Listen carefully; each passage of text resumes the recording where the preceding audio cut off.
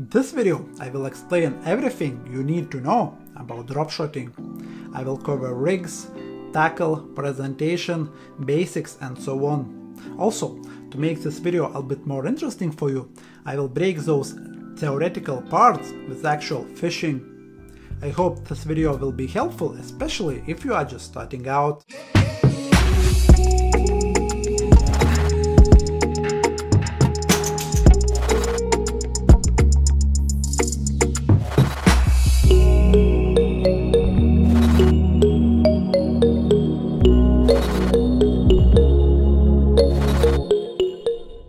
Before going any further, it makes a perfect sense to define what a drop shotting is. Drop shotting is a lure fishing technique when a drop shot rig is used obviously and a drop shot rig is a rig where the weight and the lure are separated so there is a gap between those two and the size of that gap might differ as well. Quite often people do think that Drop shotting is when you want to present your lure vertically only, but a little bit later I will demonstrate you a rig which is actually very very effective when you cast it out and retrieve.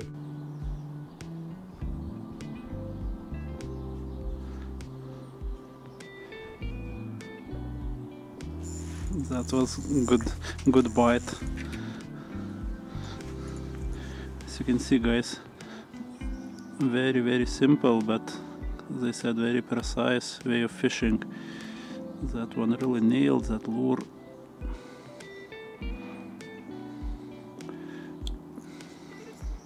Thank you.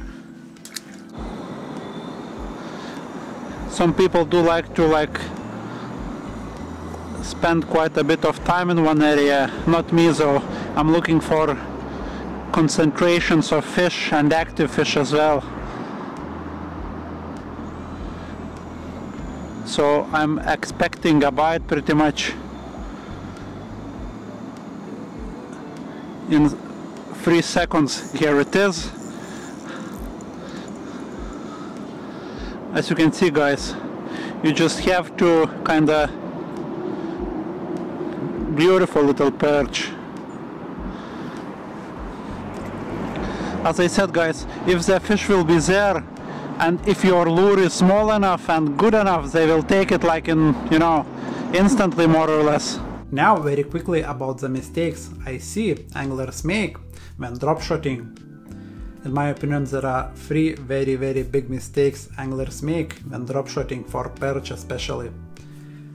First of all they are using rigs drop shot rigs where the weight and the lure are separated too much, basically like two feet. Quite often I see that people use rigs where the gap is two feet, so that's my lure and that's my weight. That's a big no-no. The best distance between the weight and the lure is about 20 centimeters and I worked it out and it's constant no matter the water you are fishing in? No matter the day this kind of a distance about 20 to 30 i would say maybe but 20 is definitely the best and uh, the safest one to start with. You don't need to go any more than that. So 20 centimeters will catch you perch on any day really. Only situation when you want to use any longer than that is when you are fishing from the boat or you have a like echo sounder like a deeper or something like that and you clearly can see on the screen that the fish are off the bottom like prey fish and some bigger specimens are kind of chasing them. Then you can change the distance between the weight and the lure to something more than 20 centimeters. But you always want to start with 20 centimeters no matter the day really that's the best distance which will always catch you Second big mistake is, which I quite often notice, that anglers do not check the edge next to the vertical wall. So they walk right next to the or onto the edge and start drop shotting around. You always want to stay away a bit from the edge, one rod length more or less, and then you want to drop your lure very very close to the edge. Obviously drop shotting is the most effective when you can present the lure very very close to the walls and if you will be standing next to the edge or on the edge immediately there is a very big chance that you won't be able to present the lure in a correct way and uh, secondly you will spook the fish as well by standing on the edge so always stay away from the edge and drop your lure next to the wall. Third mistake I quite often witness is that anglers do use two big lures on a drop shot. You have to understand when you are drop shotting your lure will be off the bottom and active fish will see that lure from the distance. So no matter whether the lure will be smaller or bigger, bigger lures will only should be considered when you want to be selective but if you're watching this video most likely you are just starting out so you want to use lures which are less than 7 centimeters in length then you will catch smaller perch and bigger perch, pike, zander, everything really but if you will start with big ones you won't get as many bites from those smaller fish and your confidence won't be as high really. As you can see I'm moving along the bank pretty quick, I'm not wasting much time in one area at all. I know that my lure is right, my rig is right, so if I will find active fish, I should get a take pretty quick.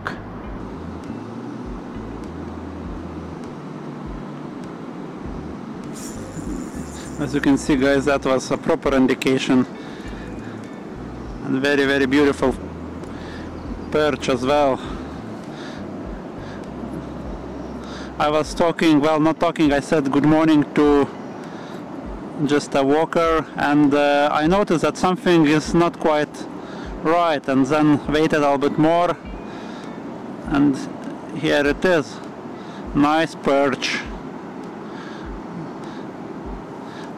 And I caught that perch as you saw not not exactly by the wall just kind of my rig allowed to chuck it out and nail that fish a little bit further the most important thing when drop shotting is to feel the bottom. So you have to have the right weight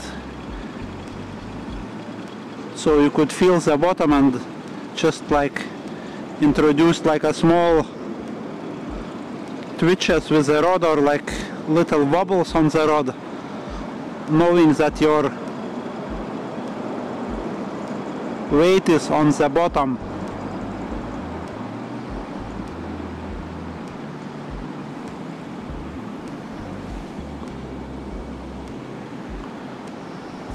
it's very very simple fishing so very very simple fishing. And very effective still. Let's move to the opposite side. As you can see guys I'm using the same rig but now I'm actually jigging. That's the beauty of that rig. It works very well while jigging and also while drop shotting so you don't have to have like two rigs or two rods set up. One rig does everything and does it very well in my opinion.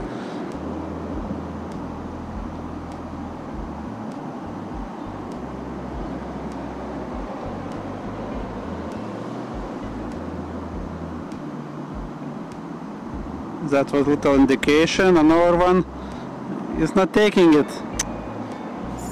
Yeah at the start I was thinking that he's not he's not like going for it but then the fish took it and as you saw guys the lure is so good that I can actually wait and see exactly when the fish is taking the lure. I'm not risking striking too early.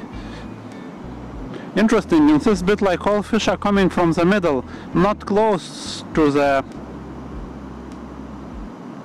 to the wall at all like all bites are more or less in the middle. Interesting Right, tackle talk, rods and reels. I will say right from the start that you don't need to buy a special rod which has a drop shot on it. Any rod which is classed as uh, an ultralight or light will do, but that rod must have a fast action and also it must have a solid tip. Carbon one will be the best one. Also, if the rod will have a painted section, white or red or whatever, it will be a bonus as well because you will be able to see. So it's very very slow or delicate bites on that light tip. When it comes to the reel, obviously you should match the reel with the rod really so the balance would be good enough and it would be enjoyable to use that rod. I use for example that's a Kuying Superlite at 7 feet and 6 inches and casting rating up to 10 grams and the is Daiwa Fuego 2500. That's a very very good for drop shooting. One thing I forgot to mention, the length of the rod. Ideally, you want to have a rod for a drop shooting which is slightly longer, from 7 to 8 feet. It will be ideal really. Even though I kinda expected that once I will put the worm on, the bites will be a bit better, but it's not the case.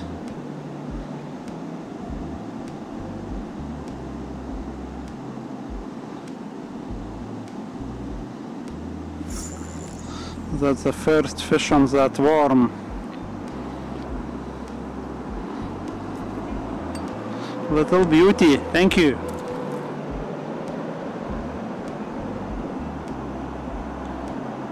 You can see guys, when my weight hits the deck I can see that on the tip clearly.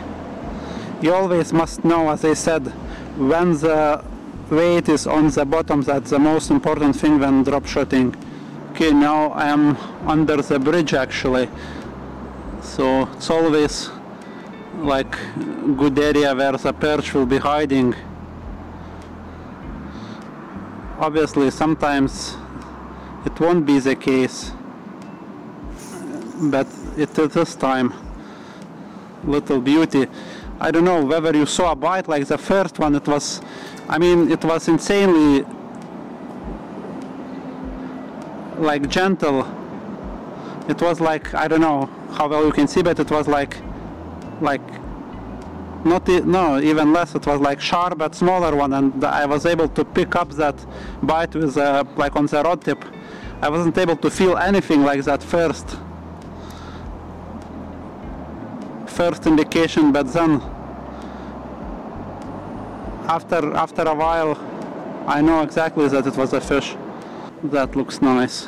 There should be some perch in here definitely I think.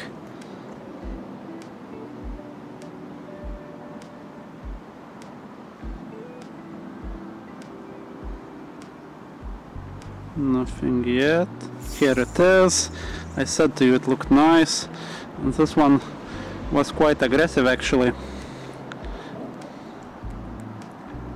Thank you. Beautiful fish, very healthy as well. Wow, just look at that. Thank you. Very quickly about the lures and lines for drop shotting. In my opinion there are three main types, or at least the ones which do work very well for me when it comes to the lures. My favorite by far is a small crayfish or a creature they do have those small antennas and when presented off the bottom they do look very very good and perch really can't resist to that. Then when the fishing is poor and when the fish are not really feeding then you want to be using like a small worm. These will pick up those lazier and not as active fish. And then when you want to be a bit more selective maybe by that I mean when you will want to catch a bigger fish, then you can use slightly bigger lures.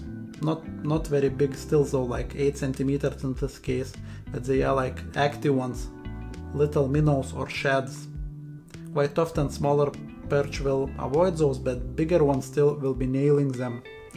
Now when it comes to the main line, I prefer to use braid, always use braid for drop shotting, and the diameter of the braid should be from PE 0.3 to PE 0.6, that's in Japanese marking. In pounds it would be from, let's say 4 to about 10 pounds will be ideal. And on the end of that, uh, that braided line you want to have a fluorocarbon hook link. Most of the time fluorocarbon hook link of about 4-5 pounds will be ideal, so about 0.18, 0.18, 0.20 millimeters diameter but when the fishing is obviously very hard then you can scale down. And if you have numbers of active pike around then obviously you need to scale up and a lot really. Okay let's check here as well. It looks quite nice like shadow drops from the jetty onto the water. But it's quite shallow so probably shouldn't expect miracles always good to check and it good, it's good that you won't you know need much time to do that as well. Have my lure all all the time very close to the wall you know.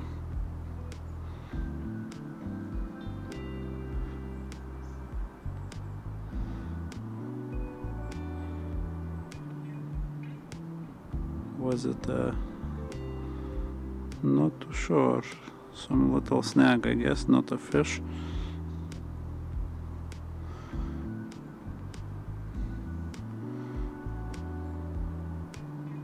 that was a fish and I got him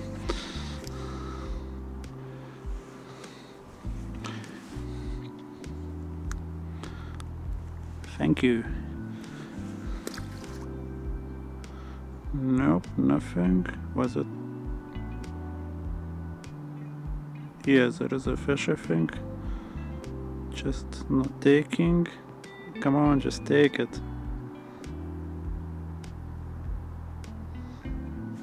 Yes, got him in the end. It was so, so difficult to hook this one. It was kinda holding a little bit, letting it go. Thank you. When it comes to the rigs, in my opinion, there are only two variations which you should consider using when drop shotting. I have both those rigs here. Let's start with the classic drop shot rig. Set the rig where the hook is fixed onto the line. So no matter how I change the line, the hook is always at the same angle to the line. This rig is good when you want to present the lure vertically but it's not so good when you want to cast the rig out obviously then the angle of the line will change and the hook will end up at uh, weird angles. It won't help with the presentation and with the fish hooking. They said the hook will be sitting at weird angle. Then the second variation is the hook which is in a small loop. And as you can see the hook is moving. I hope you can see. The hook is moving freely so this rig is very good when you want to present the lure vertically but also very very effective when you want to cast it out and retrieve and then you will end up with a lure which will be off the bottom and the hook will be moving so it will hook the fish much easier and now let's have a quick look how to tie those both rigs. Right, let's tie this rig. I will be using black line so you would be able to see it a bit better, but in your case use some fluorocarbon, it will catch you more fish for sure. Then I will grab a hook which is wide gape and I will thread it onto the line starting by the opposite point then or opposite side than the hook's point just like that. Then you want to take about I would say 30 centimeters of line and feed through the hook. Then all you do is just do five or six simple like blood knots or just keep passing six times the tag end through that loop where the hook is.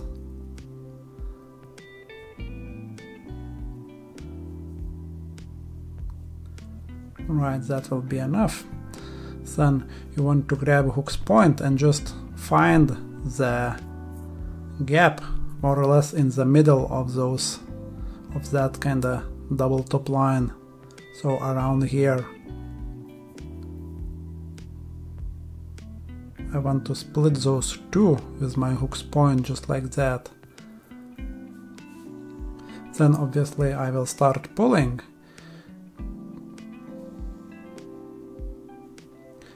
it's important to wet the knot as always, so the line would not burn whilst kinda pulling it tight.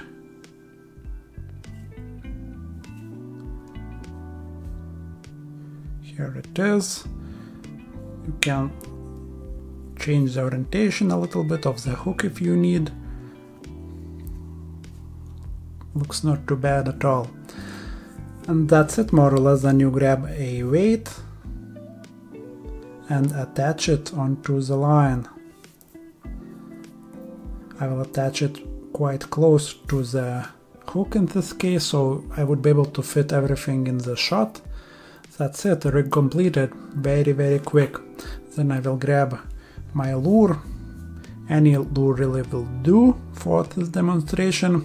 In your case obviously you will be putting the lure you have the most confidence in on your hook, but that's it guys, very very quick and easy way to tie a fixed I mean when the hook is fixed on the line it does not move drop shot rig. So the steps for my improved drop shot rig are quite similar, but before putting the hook onto the line, you want to have a small knot on the line, but you don't want to pull it tight just yet. Then you want to grab the hook and put it onto the line, just like that. The idea here is to have that hook in a small loop. So I will thread the same tag end through that small knot which is not pulled tight yet. Then I will grab both tag ends and adjust my loop size. You want to have it really quite small, just like that. Then I will grab that little area by the hook and will grab that shorter tag end and will twist it around the overline two to three times. Then again the same tag end will go through that little knot which is not pulled tight yet. Okay, now it would be a very good time to wet the knot before pulling it tight and then I will start to pull it tight. You want to hold the hook a little bit so when the knot will be setting, the hook should end up in a correct orientation hopefully. More or less the correct orientation is when the hook's point is looking away from the lead. And you can adjust that just by holding the hook and just pulling the knot a little bit. Right, I am more or less happy with that. So you can see I have a hook in a very very small loop and the hook is not fixed anymore, it, it can move. Then obviously you want to take your weight and put it onto the line. Again, in this case I will put my weight quite close to the hook so you would be able to see everything in the shot. And then again I will grab my lure and we'll put it onto the hook. That's it, rig is completed. And this rig, as you can see, has much much more movement. The hook can move to any direction more or less. I prefer this rig over fixed rig very much really. You just want to get that hook's position or orientation right guys. That's very very important in this rig. So the hook's point or hook must be like looking away from the lead. Just like that. There are two ways how you can attach your weight onto a drop shot rig basically there are those special ones which have like flattened eye. So then all you do is just thread the line onto that or through that kind of a special weight and just pull that line in and the line gets stuck. It's it's quite secure. I don't think that i ever lost a weight because of that. And then it kind of allows you to pull it out and change the distance between the the hook and the weight. For example as I have quite tight shot I will make those changes visible to you. So I have a couple centimeters distance between the hook and the and the weight. Then I can pull that line out and just slide it a little bit further and set it in again and now I have different distance much bigger one but I have to say I am not using this kind of leads very often. As I said, I think I have worked the distance between the lure and the weight which works for me all the time and that's about 20 centimeters. And most of the time what I do actually I put one of them carp sleeves on the line. Thin end first. And then I use just a simple weight of required size and then attach it to the line or to the rig just by tying any knot really so I will tie one very very quickly now. So it will be fixed. And I will have a sleeve over it. And it will mean obviously that my rig will be a little bit more like secure or durable if you like. I will cut off the tag end as well. So as you can see now when I will be fishing around the snags my weight will be not catching those snags because I have a sleeve so most of the time this is exactly the rig I'm using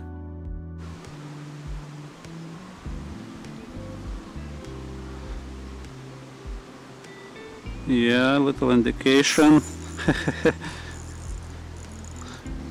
wow, they are so beautiful those perch in that in that kind of you know misty morning. They are quite quite dark. Wow, thank you. Maybe there are more. Let's see. Now I will aim for the other side of that ladder. See, nice little cast in, in that deeper like gap.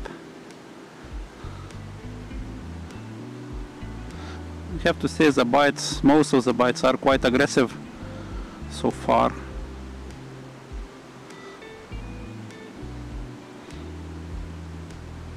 I can see them on the tip and I feel a little bit in the hand as well. Some of them. That was proper, proper, you know, like a attack. Oh, that's a nicer one think I will have to net this one. Yeah.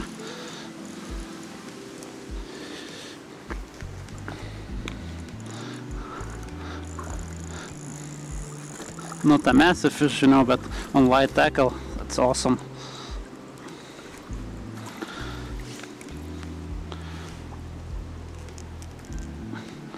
Wow, swallowed that lure. Did you see the bite? Actually, I was dragging my rig on the bottom or my weight on the bottom and then it was like a little tip like little click on the tip and then it went slack I knew that the fish like attacked the lure properly come on yeah beautiful. I love them Trent perch. They are probably the most beautiful and like cleanest fish from any river compared I mean just look at that. They are perfect. And this one is very very young fish. It will grow to a very big perch, I'm sure of it. Thank you. I catch more fish from that little area around the... It was perfect cast uh, from around that ladder. Yeah, little indication.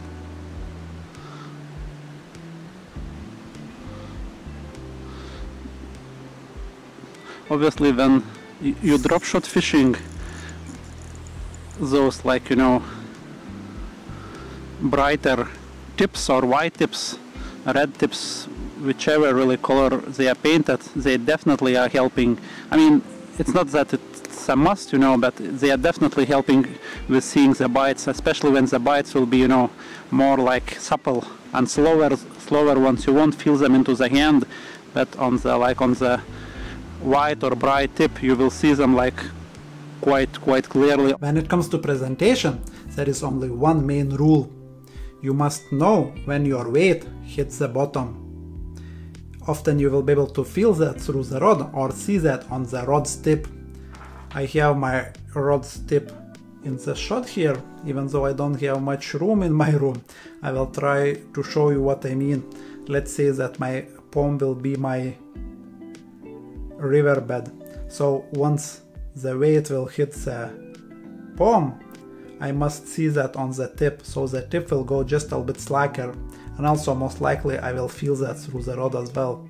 And then once the weight is on the bottom, then you can start working it, you can introduce lots of small vibrations or like twitches, you can introduce a bigger one, you can even drag the weight a little bit and you will feel the bites through the rod and will see them on the tip as well. But as long as the weight is on the floor all the time, that's ideal and you will be catching perch, zander, pike every single time you will go out drop shotting.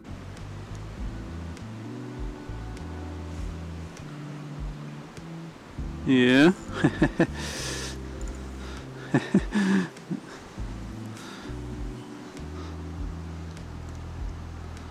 Thanks you beauty. Give back my lure.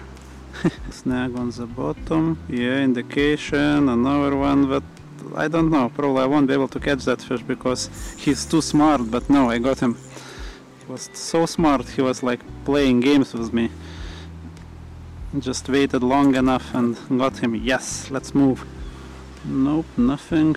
Now that little trick where you can kinda bounce your lead off the wall making it to drop very close to the wall and a little bit more quieter as well. Drop shotting technique is the most effective one when you will be fishing around some kind of a structure. And in those situations, overrigs quite often will be useless. And those situations might be as follows. For example, when you will be fishing around vertical walls with some kind of stumps or snags submerged or just visible, also around jetties, floating ones or permanent ones, also around the boats. So with a drop shot rig you will be able to drop your lure and rig very very precisely next to the wall between the boat and the overboat or boat and the jetty, jetty and the wall and you will be picking those fish which will be feeling safe there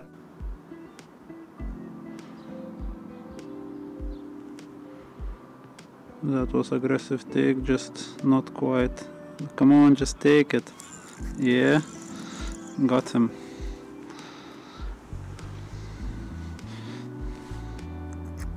Beautiful Trent fish, wow. Very aggressive. Very young fish as well, thank you. Yeah, got one. What is it? That's a snag, but I felt a fish as well at the start. I don't really know.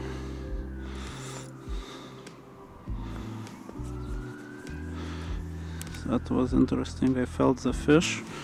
I got it out and I still got a fish on. Big snag probably. Believe or not, but there are three ways in my opinion how you can thread the lure onto the hook. I will show you all three of them. The most common one is just like lip hooking the lure onto the hook. Just like that. It's not bad, nothing wrong with that.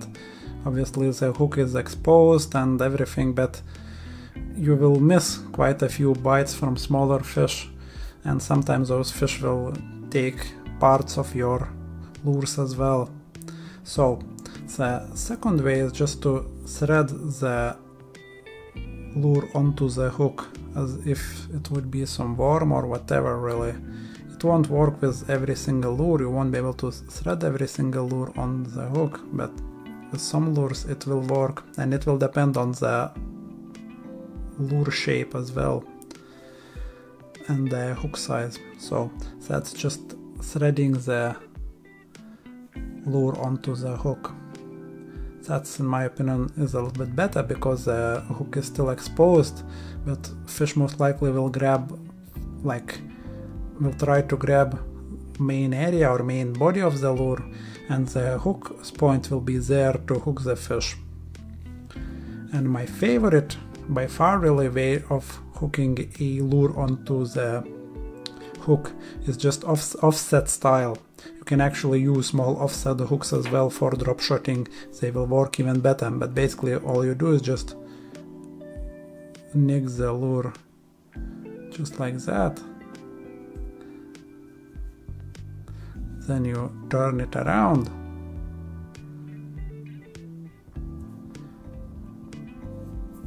And that's it. That's by far my favorite way of having my lure onto the hook. Obviously I could spend a little bit more time and I would be able to make the lure to look a little bit better on the hook, but still it's not bad. I have everything. I have my hook's point in the main body of the lure, so when the fish will grab, it will grab the lure and it will be hooked because the hook's point is just sticking out and this kind of hooking will allow the presentation to be a little bit better or will allow the presentation to be a little bit better because the main weight of the hook will be below the lure and it will be always more or less in that orientation. So it will act like a parachute that's heavy and the silicone is lighter and it will be like balanced perfectly all the time and ready to hook that fish and the hook will always will be pointing upwards so that's perfect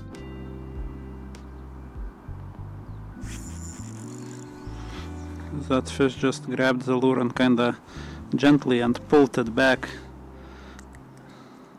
thank you but it will be it from me for today I hope you enjoyed this video and learned something from it as well. Thanks for watching and see you in the next one.